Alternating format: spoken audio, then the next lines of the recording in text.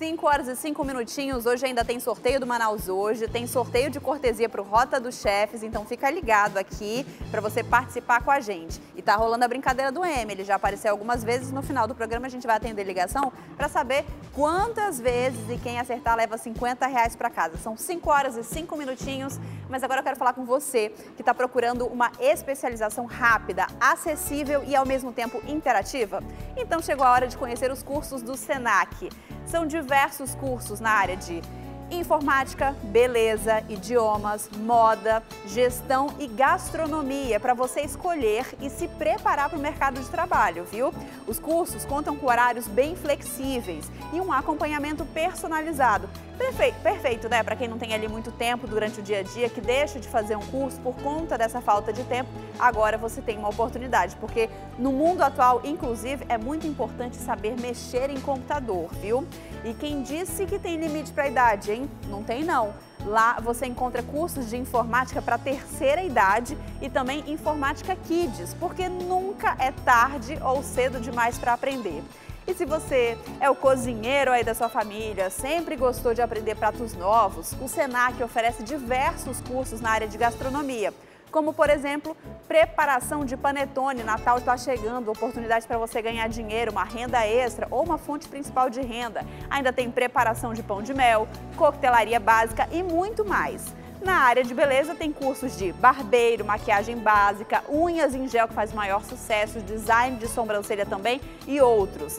Para você que quer de repente dar início aí no seu salão de beleza, né? Ou quer trabalhar no salão de beleza de algum amigo, vá se profissionalizar. Gente, para você se matricular é muito fácil. Você só precisa de RG, CPF e um comprovante de residência.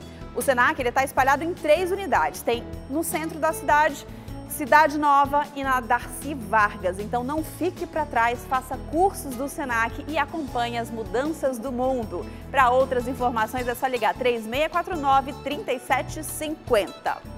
E agora a gente vai aqui para a cozinha. Olha só, o arroz de forno acabou de sair do forno.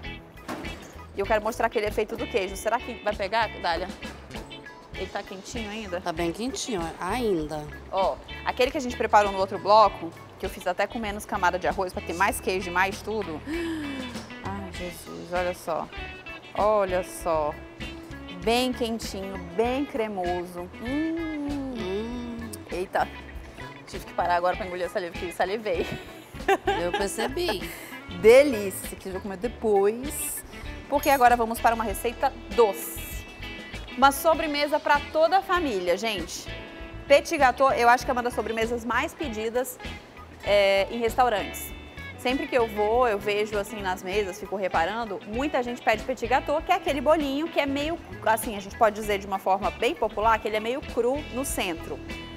Mas na verdade ele não é cru, ele fica líquido. E aí quando você corta e mistura com sorvete, nossa senhora, fica sensacional. E aí, se você vai fazer para muita gente, você precisa de várias forminhas pequenininhas para fazer um petit gâteau para cada um. Agora você não precisa mais, você pode fazer em uma travessa para a família inteira, como esse que a gente está vendo aí, e aí coloca o sorvete do lado, as pessoas vão servindo ali e, e, e colocando o petit gâteau e o sorvete. Bom, tem alguns passos, não é difícil, não é uma receita complicada, não é uma receita cara. Os ingredientes são acessíveis. O mais caro é o chocolate, né? É. Em barra, que você vai utilizar, mas você tem várias marcas, vários preços. Primeiro, a gente vai começar aqui. A gente vai separar a clara da gema. E agora a gente vai utilizar a gema peneirada. O Dário tá aqui peneirando. E ali você está vendo do lado, na batedeira, as claras já estão lá, porque a gente precisa bater a clara em neve. Já já a gente começa esse processo. Vamos primeiro aqui na... Tá bem... Bem amarelo, né? Parece ovo caipira que chama. É, é ovo caipira. É caipira? É. Bem amarelinho. É bom pra fazer pão de queijo, pão assim. Ou é, ovo assim. Fica bem amarelo. Então, peneirando para tirar aquele cheirinho do ovo, né? Porque como você tá vendo que vai bastante, para não ficar com um cheiro forte. E tem aquela pelezinha é. também, né? Bom, além disso, a gente vai precisar misturar aqui a manteiga que a gente derreteu para ficar mais fácil o processo de misturar junto com o açúcar. E também, posteriormente, vamos acrescentar o trigo. O, o A manteiga derretida é só pra facilitar mesmo na hora de misturar, porque se ela estiver durinha, vai ficar os grominhos. Então, enquanto ela vai terminando aqui de peneirar, já vou acrescentando o açúcar cristal mesmo. Aí tem que misturar bem. Posso fazer isso uma batedeira? Pode. Só que aí, como a gente já está utilizando a batedeira aqui para um outro processo, e a gente só tem uma batedeira aqui, eu suponho que na sua casa também, então a gente divide uma parte num cantinho, outra parte no outro canto. Olha que cor linda fica, né? Quindim também fica bom fazer com esse ovo bem amarelinho, né? Sabe o que eu tava pensando esses dias? É que quando eu era criança, adolescente, aí a minha mãe fazia o bolo, Hum. e aí eu não lambia lá aquela, aquela vasilha. E não E tinha não ovo. tinha problema de, de comer o ovo cru, Pois né? é, e não tinha ovo. Tinha. E aí agora, por que que ninguém, a gente não come mais? Porque o que que acontece? Vou te explicar. Uhum. Explica. Não sei. Mas é melhor não arriscar. Acho que não sei, por conta que tinha o. Não sei. Pensei em várias teorias aqui. Que tinha o ovo ali mais fresquinho e aí não tinha variação de temperatura, o que podia não dar salmonela nos ovos, né? Ou às vezes dava e a pessoa não sabia, demorava para descobrir, porque. Na verdade, sabia tinha tanta que a- informação a, quanto a hoje. salmonela é mais fácil pegar com a casca ali em contato, molhando, suando, do que o ovo dele. Mas a casca em contato com o quê? Ela com o outro ovo. Ah, tá. Por isso que é bom quando for usar o ovo, lavar antes. Nunca lavar antes ele e guardar na geladeira. Isso jamais. Porque aí Ele- ele é. pode pegar, é, entrar em Ele contato tem- com o ovo contaminado é, e ficar mais, mais Isso. menos Tem que resistente. lavar, lavar só na hora. Que for água quebrar. Que for usar, é. Ó, que lindo que ficou. Aqui só tem a gema Eu vou botar logo isso aqui pra bater. tá, e o açúcar. Aí agora eu vou acrescentar o trigo. Essa, essa receita também não vai fermento, tá? Que nem o brownie que não vai fermento, essa daqui também não vai.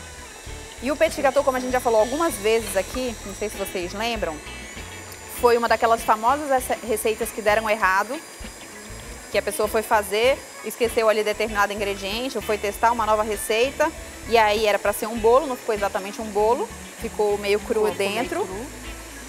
E que quem provou amor foi espalhando e o negócio virou um sucesso. Ou Há seja, várias versões, né? É. A gente não sabe aonde foi que, que deu errado mesmo. Ainda não sei. Uns mas foi um errado que deu muito certo. É. E na cozinha é muito isso. Às vezes você vai tentar uma coisa para fazer essa receita e aí dá uma outra receita que fica tão boa quanto. Ó, misturei. Agora eu vou acrescentar o chocolate derretido. Você vai derretendo no, no micro-ondas. Ou Hum. em banho-maria, né? Se não tiver micro-ondas,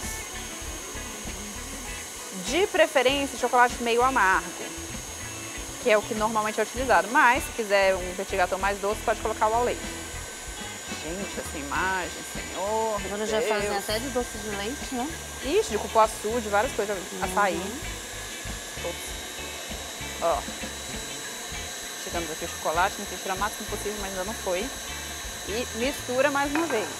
Enquanto isso, a neve está sendo batida aí. Hum, não resisti. Uhum. Fica pesadinha, né? Fica. Força. Ó, misturando aqui e aí eu já vou passando os ingredientes, as quantidades para você anotar, tá? Vamos lá. Para esse petit gâteau de travessa, você vai precisar de 500 gramas de chocolate meio amargo derretido, 8 gemas, uma xícara de açúcar, uma xícara de manteiga sem sal derretida, uma xícara de farinha de trigo e 8 claras. Você viu que o processo não é difícil. Nessa última etapa você precisa um pouco mais de força só para misturar aqui, coisa que eu não tô tendo muita. Mas a massa ela fica assim mesmo, tá? Ela não fica como uma massa de bolo tão líquida, né, Dália? Por conta da quantidade de chocolate que a gente colocou aqui. Ela vai ficar mais, mais molinha quando a gente acrescentar as claras em neve, né? Isso. Deixa tirar aqui. Aí como a gente vai colocar numa travessa, é, pra você untar, o que, que é melhor? Você untar com manteiga e aí depois você passa o chocolate em pó, pra não ficar esbranquiçado na lateral, não ficar uma aparência esquisita, tá? Pronto, já tá aqui. E aí a última parte é essa da mistura da clara em neve com o, a massa que a gente misturou aqui. Fica uma massa bem pesada, ó. Ah, gente, seguinte, hoje, sexta-feira, começa a Rota dos Chefes. Aliás, que horas são? 17 horas, já começou. Já tem lá muitos chefes que já estão com seus produtos lá à venda. E você que está acompanhando o Magazine agora pode ganhar duas cortesias de pratos de chefes que vão estar lá na Rota dos Chefes me ligando agora, 21 23 10 20. Ligou, conseguiu ligação, falou comigo, já leva a cortesia. Hoje eu tenho aqui do chefe Mansur Cefair, que veio no início da semana, fez um filé a molho povoar, que é molho de pimenta. Molho de pimenta. E Martina Caminha, que foi a minha professora aqui na cozinha, aprendi a cozinhar prova com ela. Eita, que já estão ligando. Alô, boa tarde. Boa tarde. Oi, com quem eu falo? Foi Ednelza. Tudo bem, Ednelza? Tudo. Que maravilha. Que bairro você mora? Moro no Jorge Teixeira. Jorge Teixeira. Ednelza, você já foi em algum evento do Rota dos Chefes? Não, nunca. Então você vai a primeira vez agora, hein, para aproveitar essas duas cortesias. Você já tem dois pratos aí garantidos, sem pagar nada. Um na banca do chefe Mansur e no outro no- na Martina, que você pode escolher. Cada chefe vai ter três pratos. E aí você escolhe um do Mansur e um da Martina para você experimentar lá. Aproveita, leva a família para passear. Muito obrigada pela sua participação. Aproveita, viu? Não deixa de ir não, tá certo? Tá bom, obrigada. Beijo pra você. A nossa produção vai falar como é que você. Ah, você vai pegar amanhã essa cortesia aqui na TV, tá bom? Tá bom. Porque a Rota dos Chefes é hoje, sábado e domingo. Até a meio-dia você vem buscar, tá certo? Tá. Tchau, tchau. Obrigada. Obrigada pela participação. E agora a gente volta aqui pra receita. Dália tá incorporando a clara com a massa. E aí você não pode colocar e bater, assim, com força, porque você vai destruir todo delicada. o trabalho da clara de neve.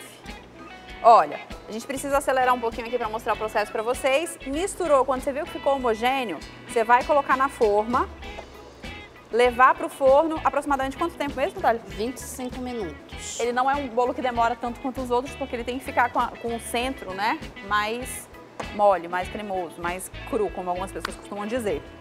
Depois disso, tirou do forno, ele vai ficar daquela forma.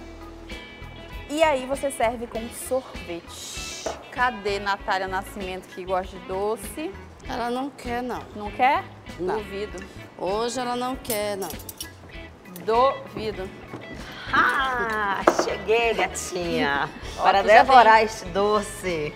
Já tem o sorvete servido e eu vou cortar aqui o petit gâteau pra mostrar pra vocês. Eba. Ó, Pode cima- chegar massa novo também pra cá. Pra gente comer, É a pra gente massinha que gosta de deliciar. doce também, né? Ó, em cima ele fica mais durinho. Né, Dália? É. A Dália não quer que eu coma, Lude. É porque ela tá de dieta, ela não quer que ninguém coma. Olha só, tá vendo que no centro ele fica molinho? É assim mesmo, tá, gente? Às vezes ele fica até mais líquido do que tá aqui, porque já esfriou. Quando ele sai do forno que você come, ele fica bem líquido. Fica lá do lado da massa pra você comer. Bora. Bem líquido. E aí vem aquela caldinha escorrendo. Então, Hoje vocês que vão comer. Eu vou ficar que nem a Dália, só olhando. É. Isso, pode fazer isso, vamos arranjar? então vamos Pode, fica lá. à vontade. O sorvete, eu confesso que eu já tava devorando antes do programa Tava mesmo, mesmo. né? Comeu um monte. E aí, ficou bom? Nosso petit gâteau de travessa? Ai, ai, delícia! Ai, delícia! Você vai conseguir Eu continuar não vou nem pensar Ai, não, nas eu- calorias, eu não vou pensar Ah, não. agora. Você vai queimar no show que você vai fazer no fim de semana. É Queima muita caloria, né? É verdade, quando terminar o programa, já vamos separar uns três potes desses. Meu povo, isso aqui. A gente vai É continuar aqui comendo um pouquinho mais. E eu e a só olhando. e você pode fazer em casa, viu? E daqui a pouquinho a gente volta. Tem o quinto sorteio do Manaus hoje, que é a promoção Nossa, Leitor Premiado. Não perde, viu? Se você anotou, participou, fica aí ligadinho que já já a gente volta com o sorteio. Tem a brincadeira do M e tem essas duas gordinhas aqui também. que não param de comer. Duas gordinhas que são magrinhas. É, gordinhas Mais de boca. menos, É a cintura alta, mulher. A gente volta já já.